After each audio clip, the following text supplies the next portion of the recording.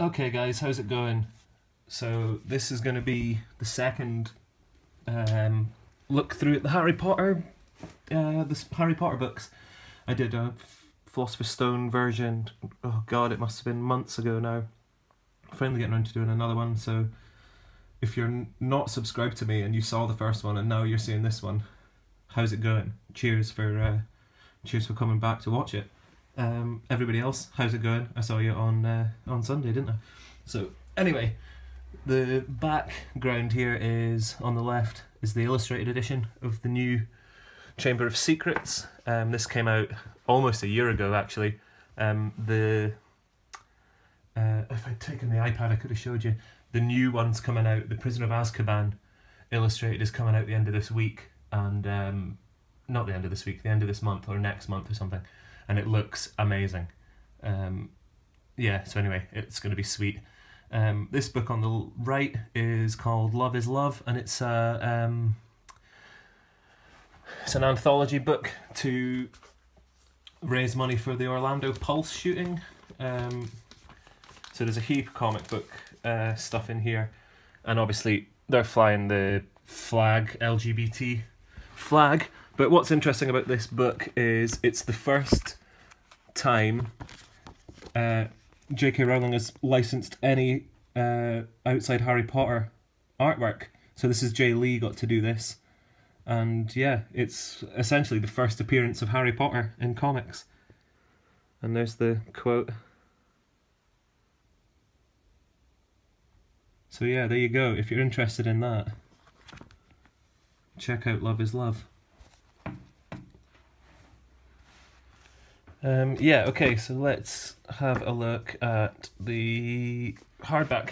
Um, this is her, obviously. Uh, I got the bookmark. I can't remember if I showed the bookmark out the last one, but there you go.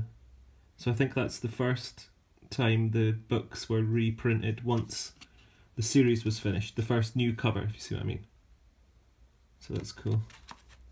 I'd like. I should have really bought a set of them at the time. I just didn't think. I think they're really tough to find. I never see those copies. Um, so yeah, what is this one? This one is. Come on. Jesus. This is seventh printing. Is that going to focus? You can make it out, I think, but. There you go. There's all the text. So interestingly, jo- Joanne's changed her name to JK. I think she maybe did that in the later on printings of the first book. I've actually got one here. I'll check in a second. But um, yeah, what's so good about this cover is obviously it's Harry and Ron and in the Anglia with the uh, Hogwarts Express going past, but Hedwig's in the back there, and Hedwig's a snowy owl, but that is a painting of a barn owl. So the guy is whatever the guy's name is, I can never remember his name, Thomas Taylor, is winning because he's already wrecked this one, sticking the train in there, and obviously Harry's already wearing his Hogwarts, um, his Gryffindor scarf, but he wouldn't have been sorted yet if he's only just getting there. Although you, I guess you could say this is after he's finished. This is at the end of the school year, but yeah, why would it be? Anyway, so that's that one. Uh, I had a brief look for errors looking for errors in the text to denote various um, various printings, but all I could find was continuity errors. There was one near the end. Um, what was that page?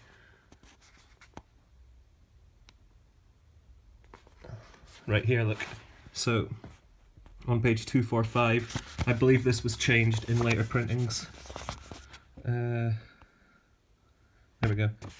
So uh, it says here Dumbledore, uh, because Lord Voldemort, who is the last remaining ancestor of Salazar's Slytherin, it should say descendant. Right there. So later on that gets changed to um, descendant. So I guess that denotes an earlier one. This paperback is, we should have checked and remembered that page. Uh, 34th printing, so I guess it's not that early. What we can do is briefly check in this this was like a school's edition, I think it was called. Uh, only the first four books have been printed um, like this, and this this cover is awesome. Um, but let's just see. I think that was two, three, four. Was it? Oh no, it can't be because that's Dobby's reward there. Uh, oh no, that still says ancestor, even though it's not in focus. Camera's hating this video today. So anyway, there you go. But there's the um, school edition, schools edition. I don't know. It is kind of cool.